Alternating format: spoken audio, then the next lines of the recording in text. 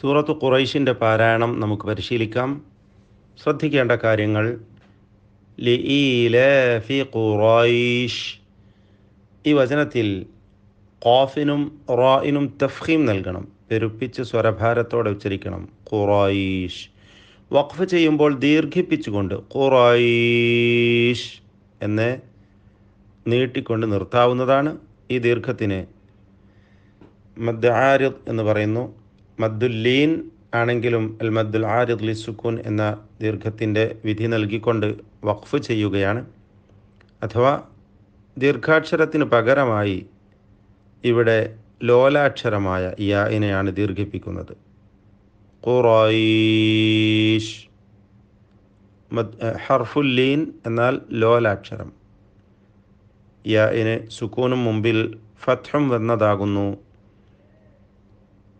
ഇത് ഹർഫുല്ലീനാണെന്ന് പറയാൻ കാരണം. അടുത്ത വചനങ്ങളിലും ഇതേ അവസ്ഥ തന്നെയാണ് ഉള്ളത്.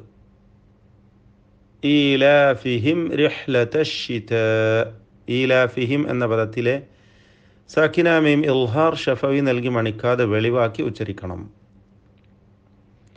അഷിത ഇതിലെ ദീർഘം മദ് മുത്തസിൽ വാജിബ് എന്ന ദീർഘമാണ്.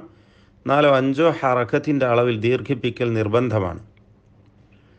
ഹർഫുൽ മദ്ദായ ദീർഘാക്ഷരമായ അലിഫും ശേഷം ഹംസയും ഒറ്റപ്പദത്തിലായി വന്നിരിക്കുന്നു. അതാണ് മുത്തസിൽ എന്ന് പേര് പറയാൻ കാരണം.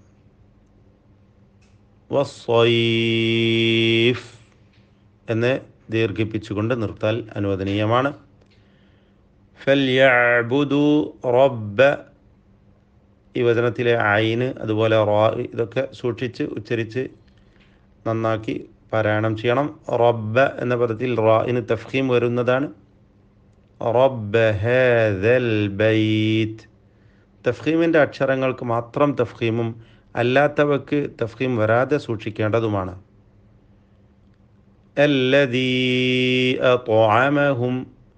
ഇതിൽ അല്ലദീ എന്ന ദീർഘം മദ് മുംഫസിൽ ജായിസ് എന്ന ദീർഘമാണ്. നാലോ അഞ്ചോ ഹറക്കത്തിന്റെ അളവിൽ ദീർഘം നൽകൽ അനുവദനീയമാണ്. അല്ലദീ എന്ന ഹർഫുൽ മദ് ദീർഘാക്ഷരമായ യാഇന് ശേഷം അടുത്ത പദത്തിന്റെ ആരംഭത്തിലാണ് ഹംസ വന്നത്. അതുകൊണ്ടാണ് മുംഫസിൽ വേർപിരിഞ്ഞത് എന്നർത്ഥം നൽകുന്ന നാമം അതിന് വന്നത്. ഇത് ദീർഘം നൽകൽ അനുവദനീയം മാത്രമാണ്. നാലോ അഞ്ചോ ഹറക്കത്തിന്റെ അളവിൽ ത്വാമഹും എന്ന പദത്തിലെ ത്വാഇന്റെ സുക്കൂൻ കൽക്കലഹ് നൽകി വ്യക്തമാക്കി ശബ്ദം ചലിപ്പിച്ചുകൊണ്ട് ഉച്ചരിക്കണം. ത്വാഇന് തഫ്ഹീം വരുന്നതും ശ്രദ്ധിക്കേണ്ടതാണ്. തഫ്ഹീമോടുകൂടി പെരുപ്പിച്ച് ഉച്ചരിക്കേണ്ട ഹർഫാണ് ത്വാ ത്വാമഹും മീൻ മീമിനെ ശേഷമുള്ള മീമിൽ പൂർണമായും ലയിപ്പിക്കുന്നു. സക്കിന മീം ഇദ്ഗാം ചെയ്ത് മണിച്ചുകൊണ്ട് ഉച്ചരിക്കേണ്ടതാണ്. ഇദ്ഗാം ഷഫവി അല്ലെങ്കിൽ ഇദ്ഗാം മിസ്ലൈൻ സഹീർ എന്നൊക്കെ അതിന് പേര് പറയും. മീൻ ജൂ സക്കിന നൂനിനെ ഇഖ്ഫ ഹക്കീക്കി നൽകി അവ്യക്തമാക്കി മണിക്കണം. മീൻ ജൂഇൻ വ ആമനഹും. ജൂഇൻ എന്ന തൻവീനിനെ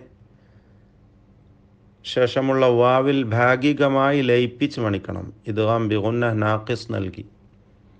വ ആമനഹും മിൻ സാക്കിന മീം ശേഷമുള്ള മീമിൽ പൂർണമായും ലയിപ്പിച്ച് മണിക്കണം. ഇദ്ഗാം ഷഫവി അല്ലെങ്കിൽ ഇദ്ഗാം മിസ്ലൈൻ സഹീർ എന്നും പേര് പറയപ്പെടും.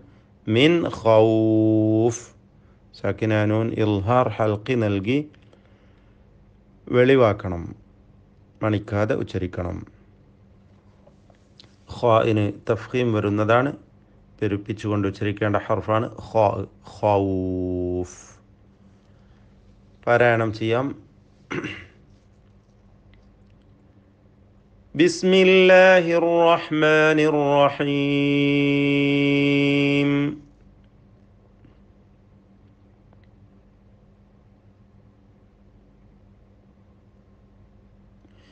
لإيلاف قريش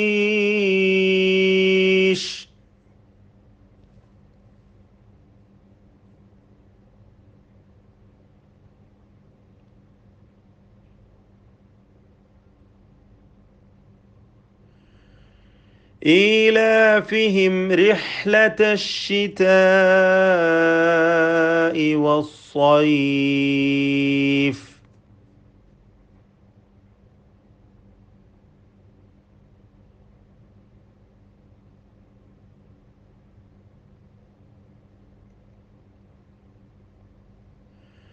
فليعبدوا رب هذا البيت